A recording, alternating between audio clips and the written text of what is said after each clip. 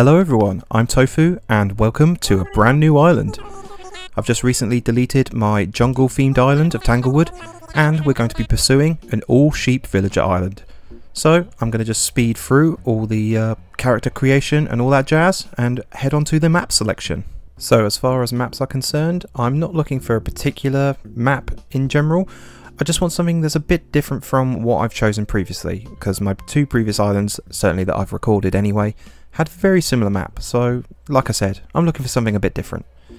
Uh, that being said, I think I'm probably going to go with this bottom left one, and uh, we'll see if we have to restart for one of those sheep starters. So I do plan to restart as many times as it takes in order to get one of the sheep starters available. I think it's one of three, Muffy, uh, Frita or Dom, I believe, if memory serves. We've got Green Airport. Who do we have as our villagers? Renee and Boone, is that? Well, that's not a sheep, so I'm going to be restarting and uh, going through the process again. So, see you in a second. So this is the first restart of possibly many. Um, just to let you know, this island will coincide with my Crimecore Island, which is a very run-down urban setting. It's very much out of my comfort zone, so this is going to be very simple. It's going to be natural cottage core, which is definitely my safe space. As far as the villagers this time, we have Moose and Rio, I believe. That could be Phoebe. In fact, I think it is Phoebe. But not a sheep, so restart again. As the theme of this island is going to be natural cottage core, very much my safe space, I've decided to challenge myself in a different way and have no terraforming, as I've never done that before. Um, as far as these maps are concerned, I don't really like any of them, but I'll go with the bottom left again. As for why I'm going for an all sheep island, it's just that I really like all the sheep designs. I've only ever had two before, being Wendy and Stella, and I just wanted to experience more of them. They're all cute, and uh, I really like the designs, like I said. Third reset, we have Genji and Phoebe again. Genji is cool, but not sheep, so uh, moving on.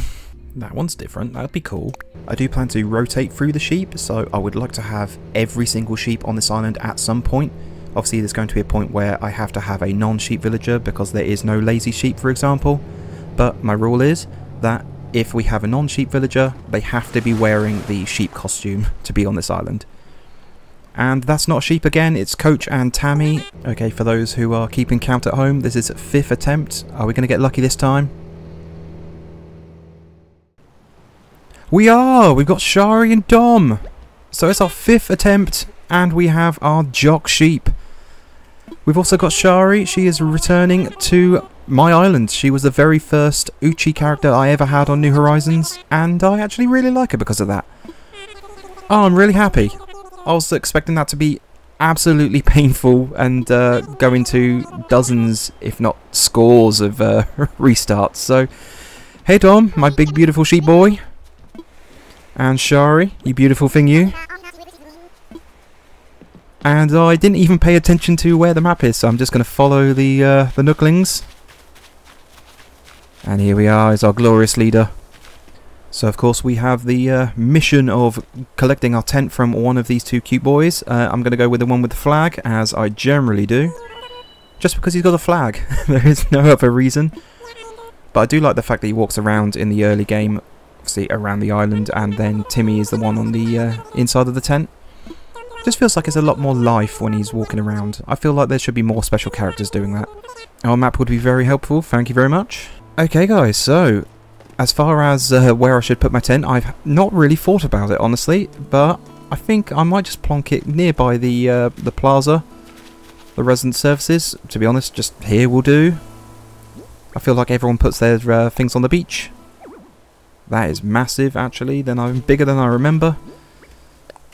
One over, will that do? Yeah. So yeah, everyone tends to uh, choose on the beach just because it's easier to then move everyone across or terraform later on.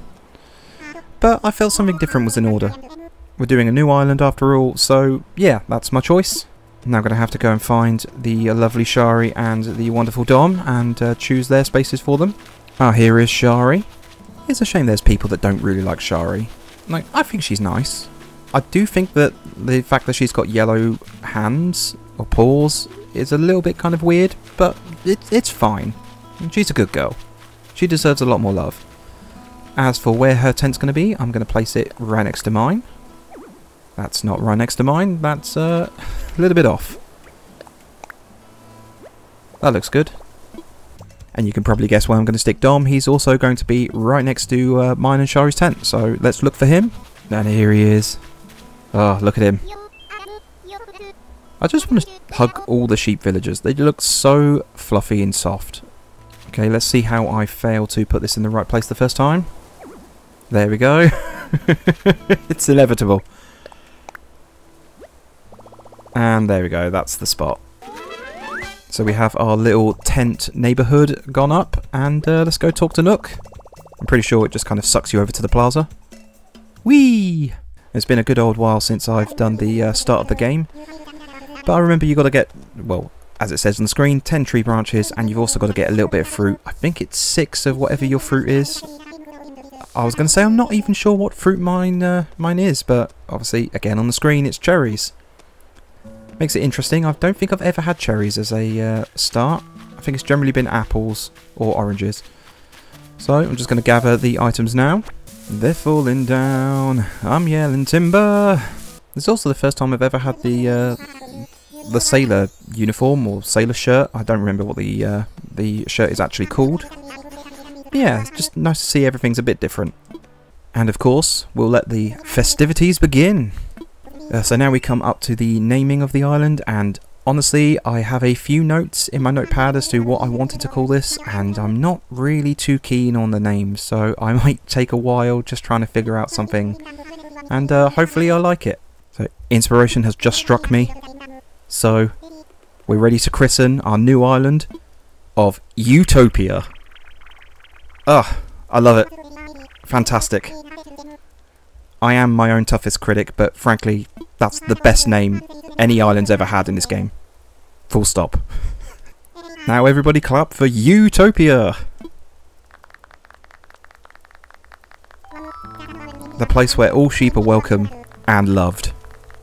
And I'm saying a word or two. Huzzah! Our cherry smoothie sounds amazing right now, actually. I would really love that. A toast to Ewetopia and the happiness of its residents. Cheers, everybody.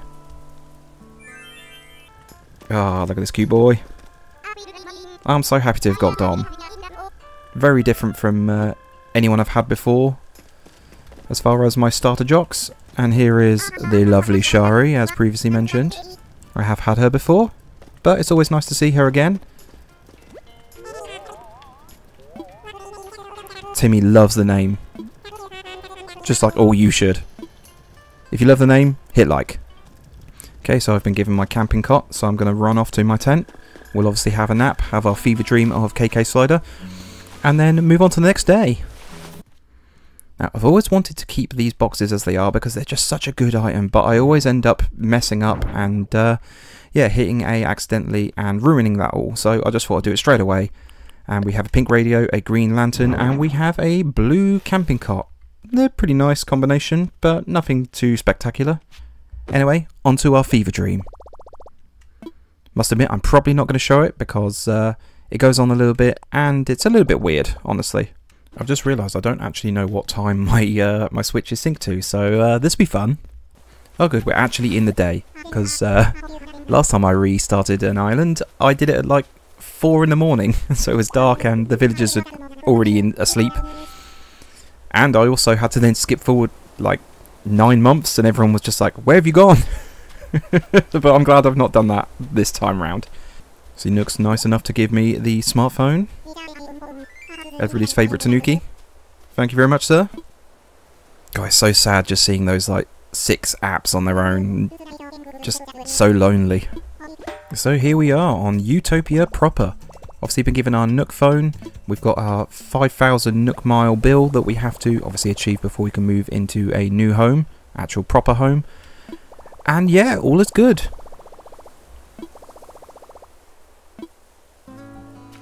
So obviously we're going to be doing the uh, ever fun grind for the 5,000 Nook Miles. And uh, yeah, we'll move on and then try and unlock Blathers and uh, all that good stuff. Obviously you've got to get the uh, mail from Nintendo first of all. Mostly to stop the beeping. but it does have the uh, simple DIY workbench recipe. Obviously can't learn that straight away because you've got to have the workshop with uh, Nook first. But there is the simple DIY workbench, like I said, and this is the DLC, so it'll be the photo of the free the work at Happy Home Paradise. I'm not going to put that down right now, but let's go talk to Nook and get that workshop on the way. Just realised I don't have any sticks or materials on me. That's very unorganised of me. So I'm going to head out, grab some sticks, grab a little bit of stone and whatever else is available, and then I'll come back and do the workshop. See you in a second. Oh, let's say hello to Dom just because he's here. Hello! No worries. Indeedaroo. What a catchphrase. And he's giving me a hat. An explorer's hat. Just like we had in Tanglewood. Well, let's bust out the hat, I suppose. Boom. Looking fabulous. And here's Shari. I believe she'll give you the leaf umbrella recipe. Thank you very much. I've already got the materials, Nook. Come on. Right, here we go. Fishing rod, let's go. So now we've done the workshop and Nook has obviously given our DIY app on the phone. We can learn these two recipes that we have in our inventory. Fantastic. I've just realised uh, I chose the eyes with the little eyelashes. Just makes me look pretty. And while I'm here, I'm going to learn a, or not learn, I'm going to actually build a couple more bits and bobs. Mostly being the net. Just checking what Timmy has to sell, just out of curiosity. Oh, a tissue box and an inflatable sofa. They're pretty useless. I can't imagine buying them. Tissue box, maybe. But, yeah, let's uh, move on, gather some things to sell, and uh, catch these fish and bugs that Nook would be after. Oh, the early game is just such a vibe, isn't it? It's just so chill, so peaceful. It's just fantastic. I love the atmosphere that you have when you first start a game. Kind of reminds me of when you first played it, when it was uh, released in 2020. Obviously, uh, the whole lockdown thing sucked, but this was cool, just to keep you going through it. I keep trying to use the uh, the tool ring, and that's going to annoy me. But first fish of the island, I saw it in the pond. What's going to be?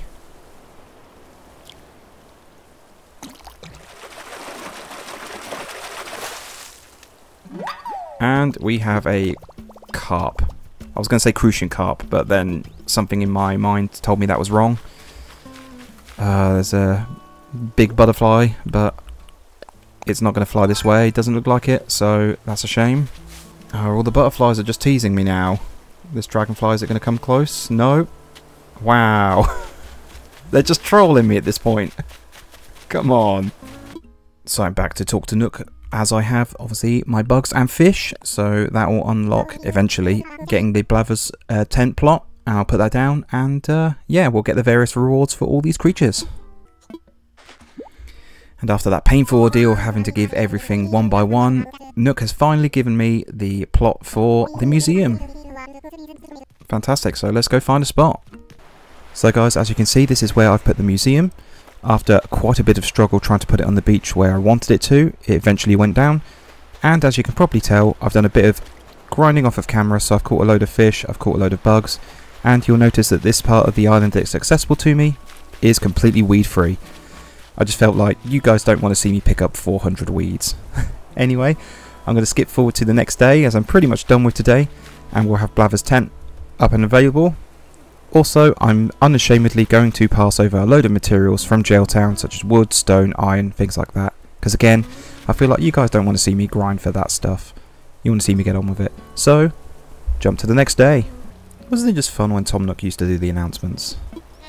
I know obviously it's raining, so it looks miserable in the uh, in-game, but yeah, it was just, just a nice little touch that he would do it, and then obviously Isabelle starts doing it, and uh, it got really boring for a while. Yeah, the airport's open as well, so we can transfer all those uh, bits and bobs like I said. I'm going to check my mail first, just because that's beeping at me, and that's kind of annoying. Oh yeah, it's the uh, things I bought. And we've also got a gift from Mum, so let's see what that is. I bought Rocking KK and obviously the Hoity as you can see. Let's see what the gift from Mum is. Oranges. Fabulous. Okay, well, I'm going to put things into my tent and then I'm going to run off to Blathers and we'll get to donating all the uh, all the little critters that we've got outside the museum and uh, yeah, let's grind through that, shall we? Actually, before I run off to Blathers, there's something I completely forgot to do and I'm a fool. I actually did some grinding and I managed to get all the Nook miles that I needed to pay off for the uh, debt that Nook has and I could have moved into a house but I completely forgot and so we're going to do that now. So next time we uh, we move forward I'll be in a house and for the time being I am debt free. Oh, I can't believe that I uh, didn't pay off my debt but oh well these things happen especially early game you get really really bogged down with just so much things to do. Anyway, let's move on to these critters and uh, talk to Blathers. He'll talk our ear off and then, uh, yeah, we'll donate some. And here he is, the owl of the hour. Not gonna lie, I forgot he gave me the vaulting pole. But, there you go. It's been a while since I've done the, uh, the early game. Oh, and the shovel as well. Fantastic. But yeah, if you could just kind of stop talking, Blathers, that would be fantastic. There we go. Fabulous. I'm now going to donate these one by one as you have to, so jump cut to when I'm done with that. And that was the last one. It's always an ordeal when dealing with Blathers. He does kind of go on a bit.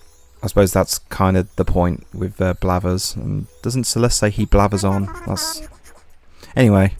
So yeah, we've uh, we've sorted out what we needed to, and we will upgrade to the big museum once uh, we move to the next day. Now I'm just going to open the gate for a certain Gaol-town resident to uh, pop by and drop some much needed supplies. So here we have the Crime Universe Tofu. Scouting the goods, seeing if there's any criminals available on this uh, island that he could recruit. So as you can see, here are the various supplies that I dropped off from Gaol-town. By the way, I wanted to say a massive thank you to Rose Rocks 399 on YouTube. They were kind enough to basically say they, they had a gift for me. So they came over onto Gaol-town and they dropped off just a buttload of stuff. So I've got all the golden tools on Gaol-town. I've got more fences that I can shake a stick at. They gave me all the fruit, these pumpkins. And yeah, it's just really, really nice of them. So I wanted to say a massive thank you. And uh, yeah, much love, Rose. I know at some point they talk about the shop, but I don't really remember when that is. I wanted that kind of possibly up and over, but there we go. So you may have noticed when I did the uh, supply drop, I gave myself a decent amount of money, just basically to cover the very most basic loans when I uh, move into my house. And so that I get a bit of storage, because trying to design islands with no storage is absolutely painful. I Also gave myself 60 Nook Mile tickets, so for the next villager hunt that we do, looking for the lazy, the normal and the peppy characters, I'll have 60 tickets, so uh, should be a decent hunt for that. And as you can see, I have a brand new shiny house with the pink roof, so it looks beautiful, just like me. And we also have our brand new fully built museum. Good times. Hey cutie, how you doing? Oh, that's great to see you. Oh, what a nice way to brighten my day. Ah, oh, you're a good boy. Oh, is this where they're talking about the uh, shop? Yes, fantastic. So this is where obviously the supplies will come in handy, so I don't need to grind all that jazz out. Hello, I'm here to do your bidding. Fantastic, so I've got the plot for the shop. Hopefully we've got enough beach space near the museum to put it down, but we'll see. I'm sure I'll struggle at some point, so uh, yeah. Yeah, looks like there's plenty of room. Oh, and look, here's Gulliver. What a lazy bird.